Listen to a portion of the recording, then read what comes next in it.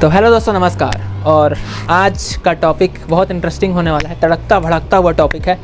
तो guys C H O का जो पोस्ट है, इसके बारे में आप लोगों ने सुना ही होगा, जो बी एस सी नर्सिंग के स्टूडेंट्स के लिए बहुत पॉपुलर है और इस समय उसकी वैकेंसियाँ भी बहुत ज़्यादा निकल रही हैं। बट इस पोस्ट में छत्तीसगढ़ में बहुत अच्छे तरीके से गोलमाल कर दिया गया है और इस पोस्ट में बी एम एस डॉक्टर्स को नहीं लिया गया है। ऐसा क्यों किया गया? ऐसा नहीं होना चाहिए था बट ऐसा कर दिया गया है। इसके पीछे का कारण हो सकता है कि भाई बीएससी नर्सिंग के जो स्टूडेंट हैं, उन्हीं को वो डॉक्टर बनाना चाहती हो सरकार। हो सकता है ऐसा। बीएमएस के स्टूडेंट डॉक्टर्स नहीं हैं।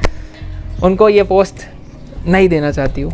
बट इसी के अपोजिट अगर आप देखोगे, बिहार में, हरियाणा में, आसाम में और महाराष्ट्र, इसका बहुत अच्छा एग्ज़ाम्पल है।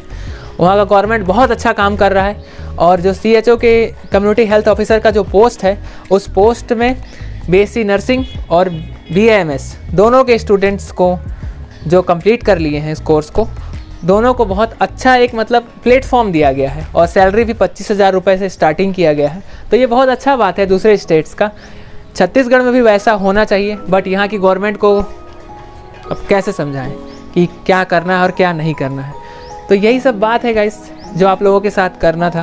क्योंकि बीएमएस के स्टूडेंट के सामने बहुत बड़ा चैलेंज होता है बीएमएस कंप्लीट करने के बाद कि एक अच्छे हॉस्पिटल में गवर्नमेंट हॉस्पिटल में जॉब लग जाए। क्योंकि प्राइवेट हॉस्पिटल में तो आप किसी के अंडर पे रह के ही काम करोगे। बट गवर्नमेंट हॉस्पिटल में आप, खुद का आपका वैल्यू होगा, खुद का नाम होगा। बट अदर स्टेट्स का रूल्स और छत्तीसगढ़ का रूल यहाँ के जो स्टूडेंट्स हैं, उनसे अपन कहना चाहते हैं कि आप आयुर्वेदिक स्टूडेंट हो। आप खुद के लिए नहीं सोचोगे तो आपके लिए कौन सोचेगा? यहाँ का जो सरकार है, वो बीएससी नर्सिंग वाले लोगों के लिए सोच रहा है। और आप लोग जब तक स्टैंड नहीं लोगे बी को आगे कैसे बढ़ा सकते हो? ऐसे में बी आगे नहीं बढ़ सकता। जहाँ पे है, वैसे ही रहेगा। और आयुर्वेदिक, आयुर्वेद का कोर्स करने के बाद अगर आयुर्वेद को बढ़ावा नहीं दे पा रहे हैं तो फिर इस कोर्स को करना बेकार है। यहाँ के जितने भी कॉलेज हैं, जो आयुर्वेदिक कॉलेज हैं, उन सबको बंद कर दिया जाए तो ही ज़्यादा सही रहेगा। और क्या बोले? इस वीडियो में बहुत सारा भड़ास तीन चार साल का था वो निकालना था। क्योंकि सीएचओ का पोस्ट जब जब देखते हैं 700, 500, 600 छत्तीसगढ़ में ही जो भी पोस्ट आता है वो पंद्रह हज़ार रुपये के सैलरी बेस पे बीएससी नर्सिंग स्टूडेंट को आराम से जॉब मिल जाता है। ऐसा क्यों है भाई? बीएमएस वाले क्या गलती कर दिए हैं? क्या प्रॉब्लम क्या है बीएमएस डॉक्टर से?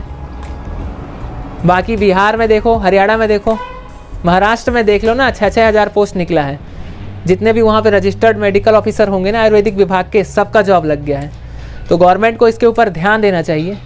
और बीएमएस के जो छात्र हैं, जो अभी कॉलेज में हैं, उनको भी इस चीज़ पे ध्यान देना चाहिए। बीएमएस कर लेने से ही सब कुछ नहीं होता है। करने के बाद भी बहुत सारा चीज़ आपको फेस करना पड़ेगा। क्योंकि कॉलेज में एडमिशन लेते हैं, उस समय तो लगता है डॉक्टर बन जाओगे। एलोपैथी प्रैक्टिस कर लेना है, आयुर्वेदिक प्रैक्टिस हो जाएगा, चल जाएगा, ऐसा नहीं होता है। प्राइवेट हॉस्पिटल में कितना दिन तक रहोगे?